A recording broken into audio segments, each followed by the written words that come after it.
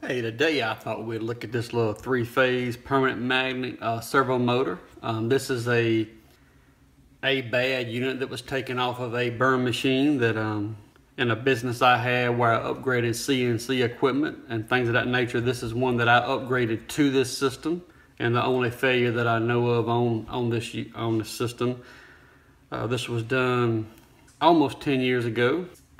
Changed out that older DC and brush type to this little small three-phase type. Now this uh, this motor and drive system made by uh, Danaher Motion, the little drive or servo controller that was uh, driving this servo motor was actually, uh, you could hook it up to 120 volt or 240 volt single phase and it would output three phase to this little permanent magnet uh, servo motor. So this is some of the uh, information on this actual motor. 8,000 RPM 0.59 uh, kW so it's just you know it ain't far from being a horsepower output of this little thing. It's got quite a good bit of torque puts out 320 volts DC to it.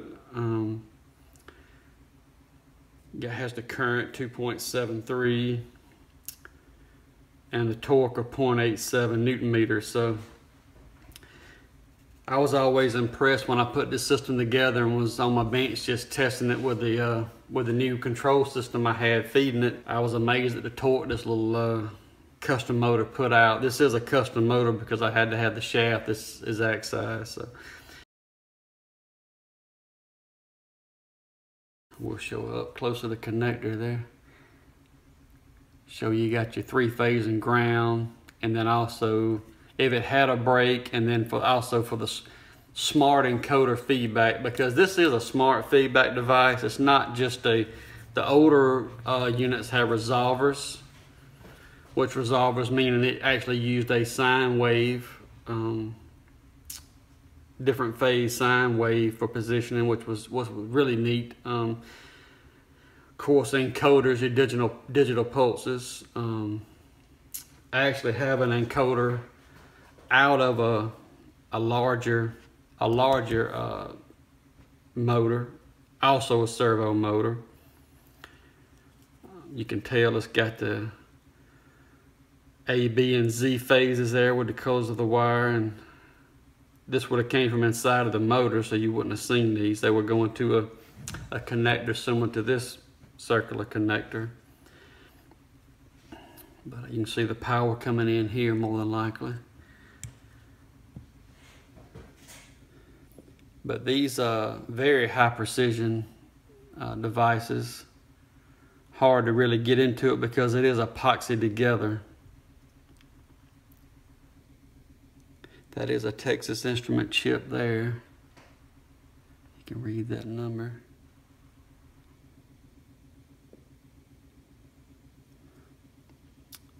But um, these, this is actually an optical encoder. There's some that's magnetic. Um, I don't remember the specs on this one, but one thing in the part number dot matrix printed on here is it says Y2048, so it's telling me it's a 2048 pulse.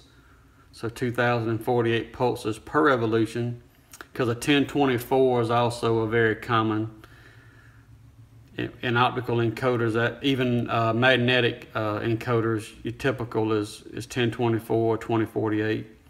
2048 of course being a lot higher resolution. But I don't know if you can see when I when I spin this I don't know if you can see that glass wheel rotating so I just thought I'd put a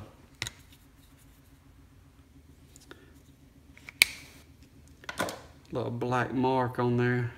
Might make it easier to see when I rotate it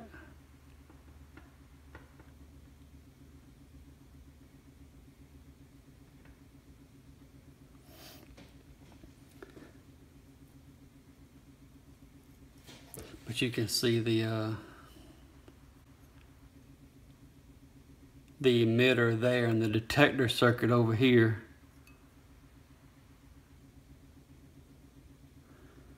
So it's picking up the lines optically with this. I'm assuming it's like a laser emitter and then laser detector over here on this side of the circuit. but um, whether this will help or hurt, I don't know.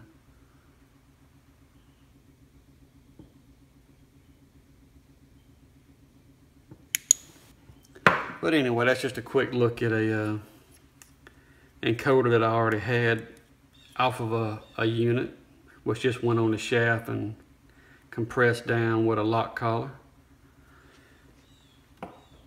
This one, I'm actually not 100% sure how it is. It's gonna be something similar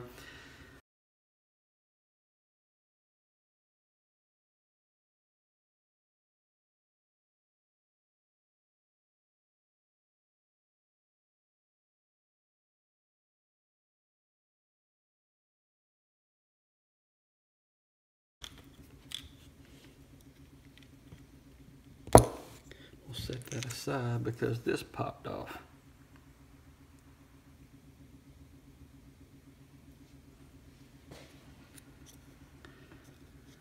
Now I wasn't, I was not expecting to see that.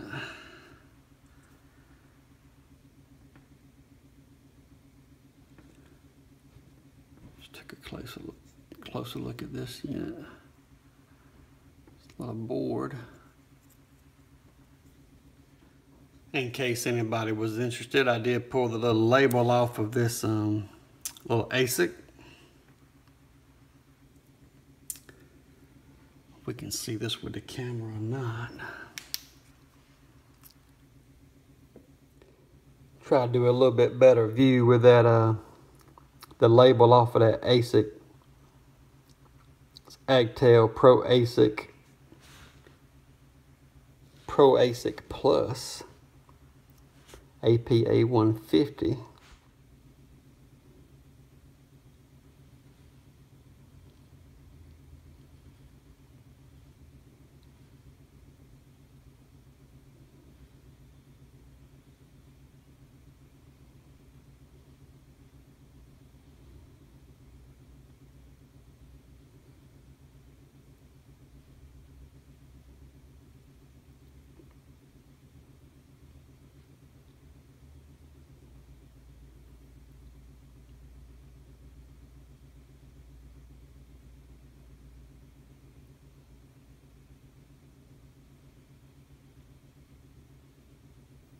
the back of that board. If I can get lined up on it here, we will take a closer look.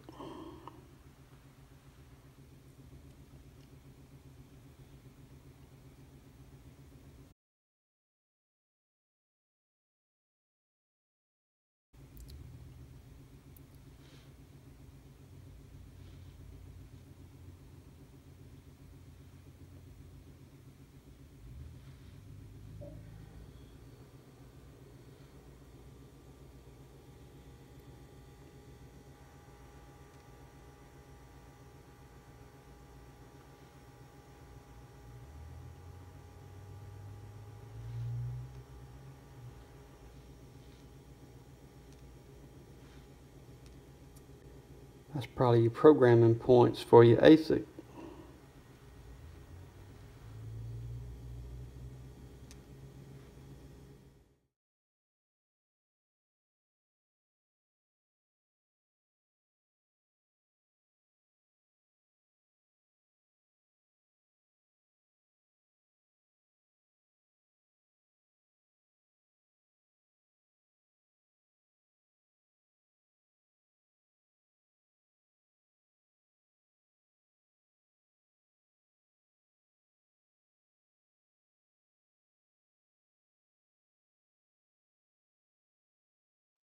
But that magnet is very, very strong.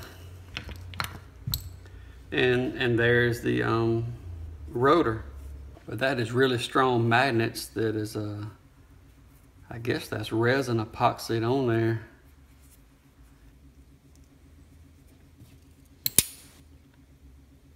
But that is um, some kind of strong magnets on these things. If you ever, if you ever want some really, really strong magnets, these uh, permanent magnet, the newer type uh, servos, all the rotors, even though some of them are difficult to take apart, the rotors do have some very strong magnets. Now, a lot of them are solid.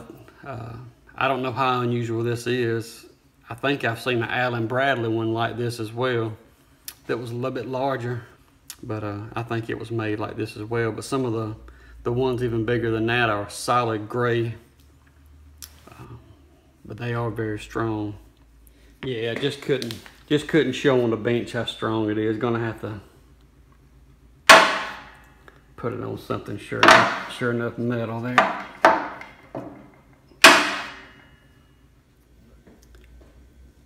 A closer look at this feedback device and we see that it actually is a resolver.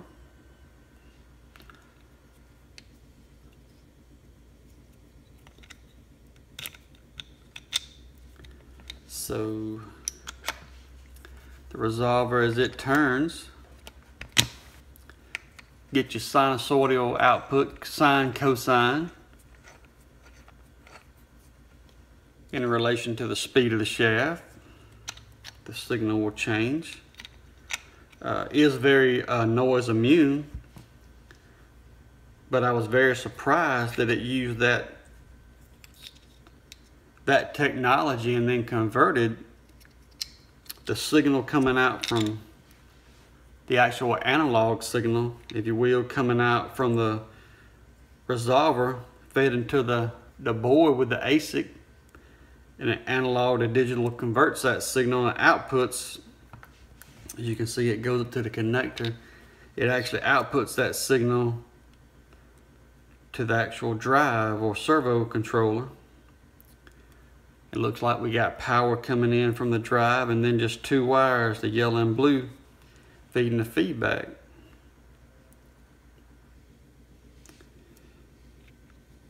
So very surprised to see the resolver. In this instance, I, I knew when I bought this system that it was a, a newer digital style uh, feedback device, but didn't know that it was a resolver, um, which I guess for noise immunity and heat, a lot of things, uh, I think vibration too is very good. Also, you can see here up close the, uh, the three phases coming out of the potted winding of the stator up and going into the connector.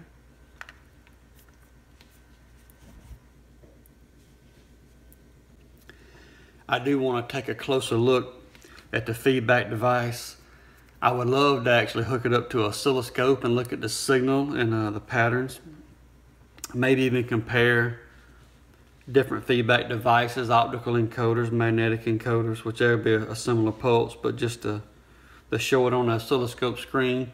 I don't want to make this video too long, so maybe the next video I'll uh, I have several different uh, encoders and uh, put them on a oscilloscope screen, look at the signals. That was just a quick look inside of this little three-phase permanent magnet servo motor. Uh, I'm not going to put this unit uh, back together. It's uh, it was a destructive teardown. It was already uh, bad. I didn't have any plans on trying to fix it or anything like that. So as long a life as I have, I just I had already put a new one on that machine. So thought we'd just look at it and uh, see if there's anything interesting inside. Uh, the the stator and the rotor are very common. Uh, any of them I took apart are, are, very similar one way or another. The actual feedback was was very interesting to me. I, I learned a little from it. I, I had no idea that it uh, it worked the way that it did. So, uh, hope you learned a little something from it.